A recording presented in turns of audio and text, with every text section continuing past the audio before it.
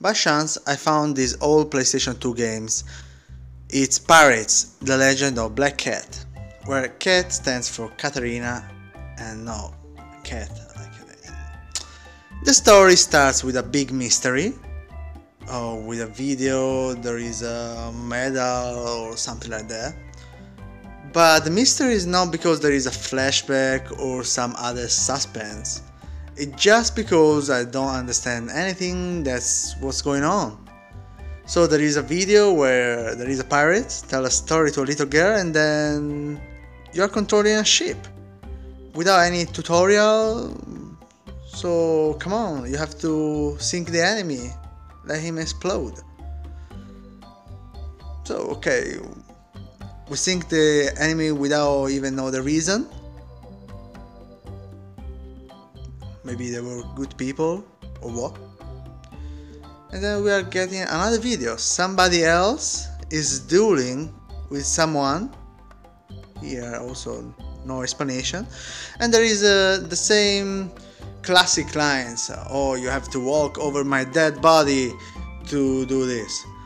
okay, I will do this the classic uh, lines, right? So, okay, this guy dies. And our hero, after sinking the ship, sees some black smoke from far away. Hmm, what's going on? Over there, there is some smoke. Maybe is my father in danger? I have to go to save him. He comes to see everything is on fire and his father has been killed. But luckily, he wrote a very long letter with a goose uh, quill. Well, if he wrote such a long letter, why he could not try to escape? If he has the le- energy to write a letter like this. And the bad guy who is giving fire to everywhere in the villa did not notice that he did not die. He was like writing a book.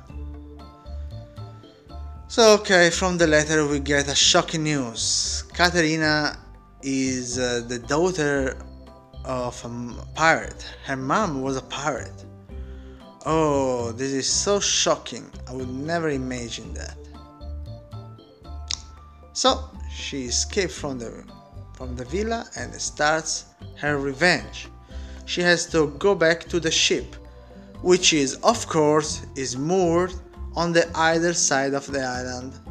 So we have to kill all the enemies on the road, which is pirates, which all they have the same outfit, giant crabs, and uh, if um, if we enable a teleport to an, another world, like an underworld, like in the Stranger Things TV series from Netflix, we'll meet also skeletons. Here also we have no tutorial, like uh, so we have to mash the buttons and learn the button in the hard way, the classic way. There is no violence. When you kill enemies, they just disappear immediately and become gold or power up.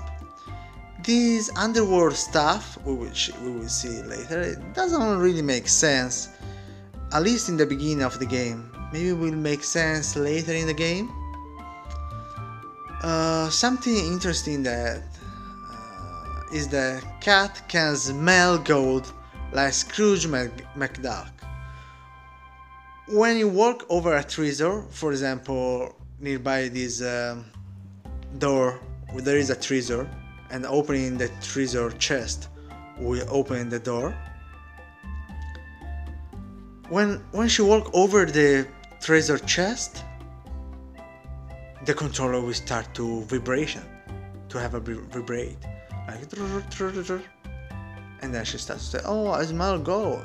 There is a treasure under the, under the, under the. I, I don't remember what she said." So you have to go around and mesh the L2, but it doesn't always work. For example, when I was in the underworld, she kept telling me for like five or ten minutes like she was smelling gold, but I didn't find anything. What's the purpose of this gold? I don't know yet. Maybe later in the story there is a store or something like that. I played something like one hour I did not find anything. So, like, uh, when you have killed everybody and arrive to the ship, you'll get a tutorial. A 30 pages tutorial. Why? Why you put that after 25 minutes of play? Really, I don't understand. I already got the commands. Okay, so when you arrive to nearby to the water, you can see that you cannot jump inside the water. There is a force field. Yeah, this is for saving unnecessary programming complication or introduce bugs or just the player is not allowed to jump in the in the water. That's it. And also something we are not used is that uh, you cannot save whatever you want, whatever you want, or like uh, there are no checkpoints or automatic saves, but there are the classic save points. Here is an pirate. When you get in the boat, there is a second game mechanic. The sea navigation and the shooting against the enemy boats. After all, like if you ignore this story, which is very um, simple, it's a good game. There is adventure, exploration, the fights in the sea. You will be curious to see what's going on the next island. Where is the keys to open the chest? And so it's a good game. Another extra point is the player versus player mode, which is if you invite a, a, a friend to your home, you can play um, the the fight between the boats. And usually what happens you already know the game you already beat the game Why your friend never heard this game. So of course he will be lose because uh, he doesn't even know the, the buttons but the game is good and balanced balance um, balance the fight. Like uh, the guys who lose will get will get the more powerful ship. So like uh, if i lose once i get a, a ship which is three times more powerful than my ship. And this will balance the fight so the graphics and sound are obviously outdated but if you consider that this is a game from 2002 which is 14 years ago. It's great, like the water is transparent, there are fishes, you can see an, another sunken ships, or there are monkeys playing, or you can leave footprints over the sand. So after all, it's a good game. See you for the next video. If you liked uh, press like. If you don't like it, press uh, I don't like it and that's it so you can see the gameplay right now bye bye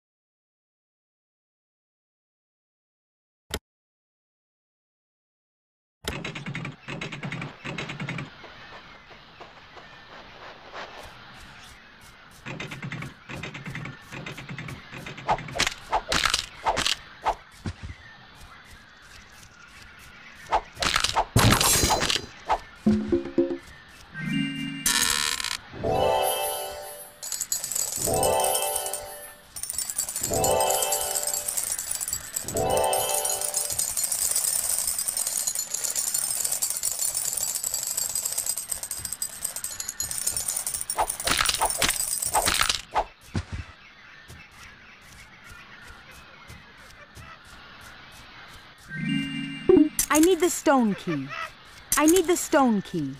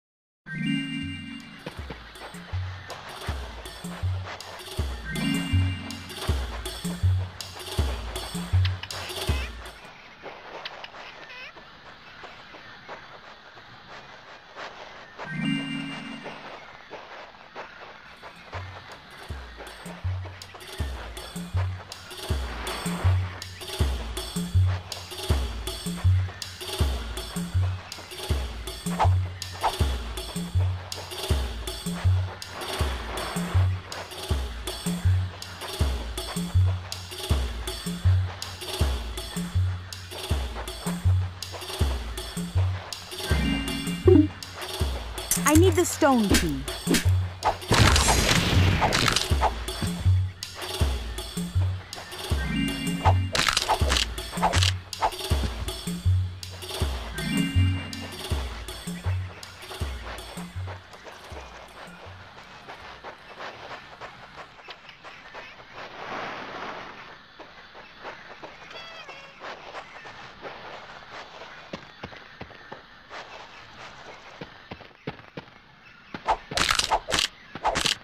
Grog.